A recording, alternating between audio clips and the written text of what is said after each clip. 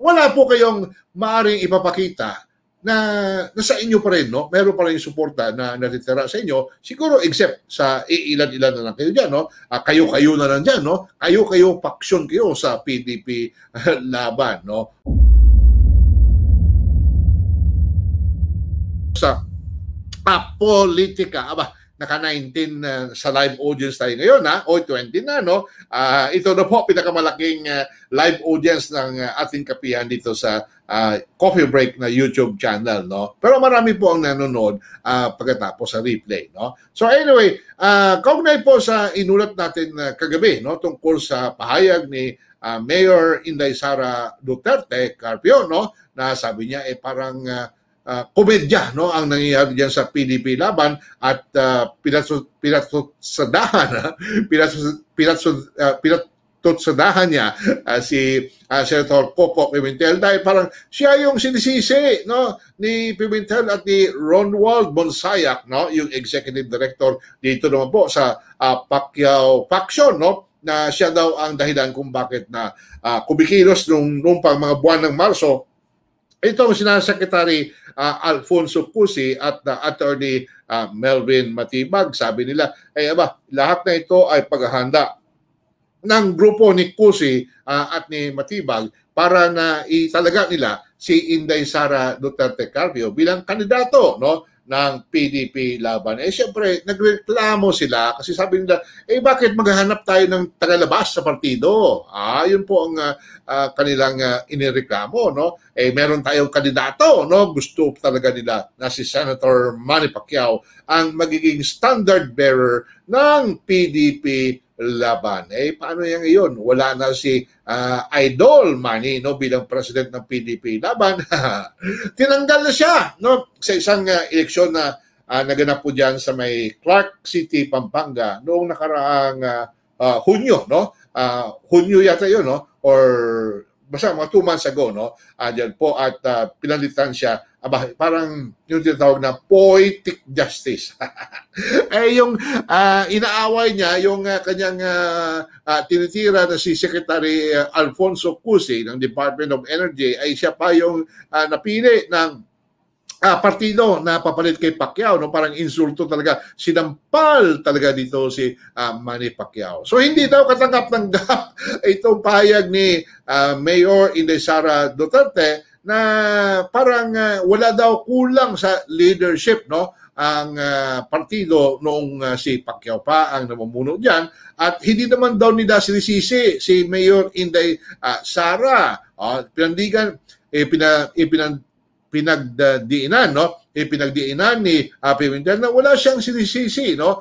Na hindi ka partido sa pagkakahati-hati no? Uh, ngayon ng sa PDP laban no? So sabi niya I don't know why I am being referred to in paragraph 3 so pahayag po yun ni uh, Inday Sara kahapon no? Uh, sa kanyang Facebook page no? Eh sabi niya tignan niyo yung mga pahayag ko no? Eh hindi ko binabanggit yan si uh, Mayor Inday Sara uh, Duterte. Pero sa totoo niyan, eh marami po ako nababasa, lalo na po mula dito kay uh, Ronwald Bonsayak, yung executive director. Yan po yung uh, kanilang uh, parang uh, uh, shooter, no? Shooter tawag yan, no? Uh, diyan sa PDP uh, laban. So, uh, iginigiit, ginigiit ni uh, Pimentel na internal issue ito away-away ito, hidwaan ito ng mga uh, member ng PDP laban at kalaban daw nila ang ilang uh, katunggali dyan, kanilang katunggali ay sina Kusi at si uh, Matibag. Pero hindi po ito totoo, uh, Senator uh, Pimentel. No? Because ako mismo saksi no? na nababasa ko at narinig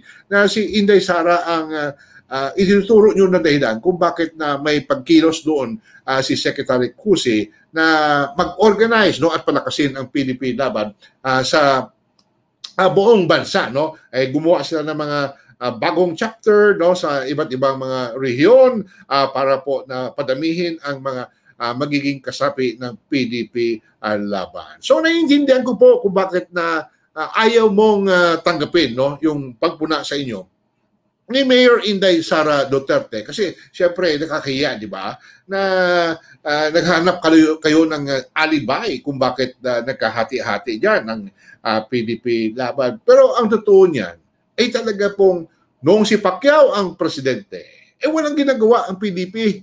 Eh kasi si Pacquiao busy. Ha? Busy hindi po sa kanyang pagiging senador, busy siya sa kanyang uh, uh, boxing, busy siya sa uh, kanyang uh, may cryptocurrency yan. No? Hindi ko pa nga alam kung ano nga ang uh, nangyari dyan sa uh, cryptocurrency niya ni uh, Senator Pacquiao which was launched in September 2019, almost two years ago na yun, ha? ay hindi natin alam kung mag uh, kumita ba yun o baka isang scam din yun, no? Hindi natin alam yun, no? Uh, kaya po, uh, uh, Senator Pimentel, eh, tanggapin mo na na ano kayo, sinipa kayo, no? Mismo ang mga uh, member ng PDP laban at ito po nakita natin mga 90 to 95% in fact ang bumoto po diyan kay Kusi at kay Matibag as President and Secretary General. And above all eh si Pangulong Rodrigo Roa Duterte ay siya po ang chairman uh, ng PDP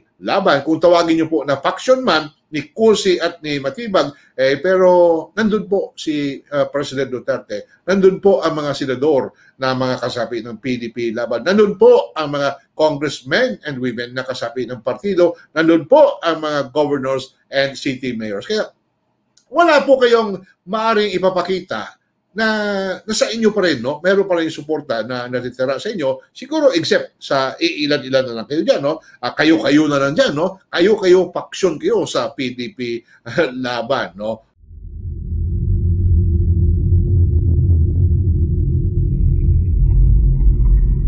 Okay, so napakaganda po ang uh, reaksyon ng uh, uh, mga viewers natin kagabi, no? At nakikita ko nga po nasa uh, 26 uh, thousand uh, uh, 26,500 views na no? Uh, yung ating uh, live stream kagabi. Pagkaraan lang po ng uh, dal- labing dalawang oras no? So eh, maganda po uh, ibig sabihin ay nakikita na rin po ng maraming mga kababayan natin na dito pala sa kay Manuel Boy Mejorada sa kabilang channel. At ito po ay papalakihin din po natin ito no?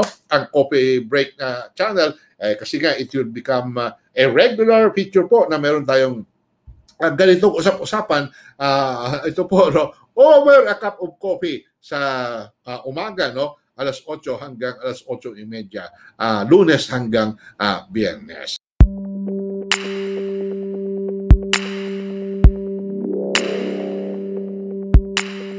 Habang uh, uh, may mga uh, may mga pag uh, pag uh, uh, tawag dito, pagsusuri daw o pag uh, mga study no?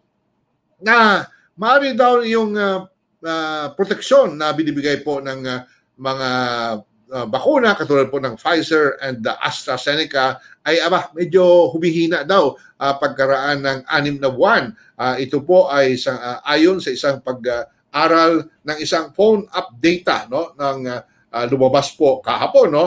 At uh, ito ay nag parang uh, titignan nila na isa itong uh, uh, indication no uh, na baka kailangan nga ng booster shot no para papasiguro na tatagal ang proteksyon na ibinibigay ng mga uh, bakuna.